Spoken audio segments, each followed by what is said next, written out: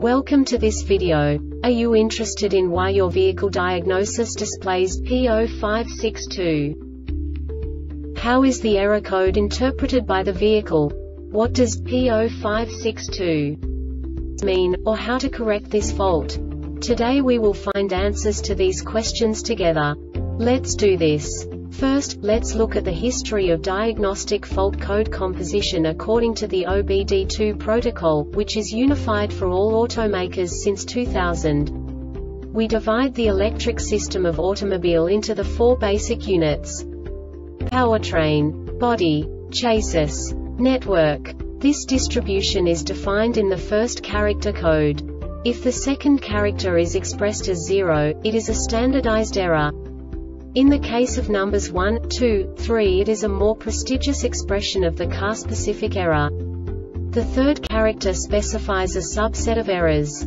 The distribution shown is valid only for the standardized DTC code. Only the last two characters define the specific fault of the group. Let's not forget that such a division is valid only if the other character code is expressed by the number 0.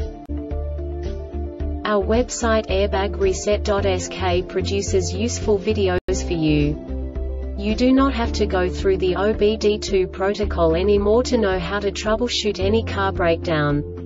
You will find all the diagnostic codes that can be diagnosed in Acura of vehicles. Also many other useful things. The following demonstration will help you look into the world of software for car control units.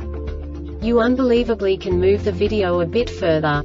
The error code is split into two bytes consisting of 16 bits. One bit is the basic unit that each computer works with. The bit has two logical states. 0, low level, 1, high level. By combining the first two bits, the basic character of the error code is expressed. The next two bits again determine the second character. The last beat styles of the first byte define the third character of the code.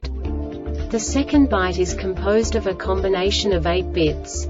The first 4 bits determine the fourth character of the code.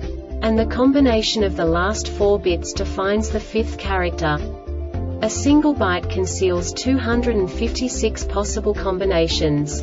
We now know in what way the diagnostic tool translates the received information into a more comprehensible format.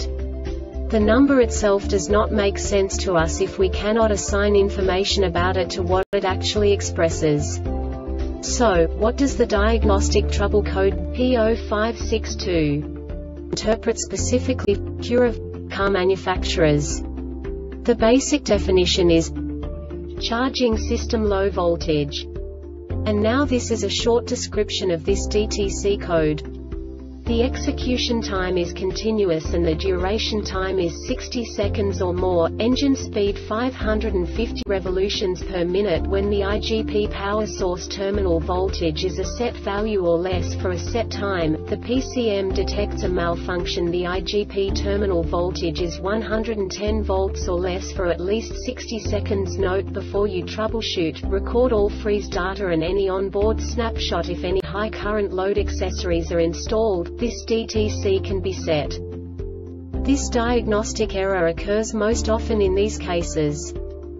Faulty battery, or connections faulty alternator poor connections or loose terminals at the alternator and the main under hood fuse box. The Airbag Reset website aims to provide information in 52 languages. Thank you for your attention and stay tuned for the next video.